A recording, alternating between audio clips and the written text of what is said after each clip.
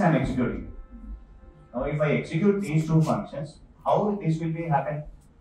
This calculation function method, which is returning a value integers, ఆ return చేసిన value ఒక దగ్గర స్టోర్ చేయాలి కదా now this this calculation function is going to return so integer result is equals to calculation method clear fine sir now i am calling the call calculation function 5 comma 5 the result the sum will be returned and that will be stored in the result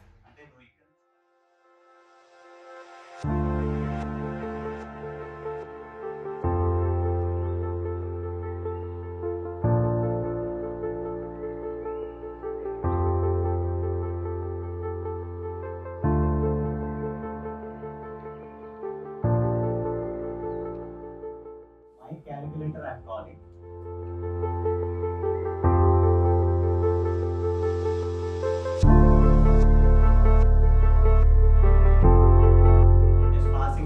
The function as an argument to the function.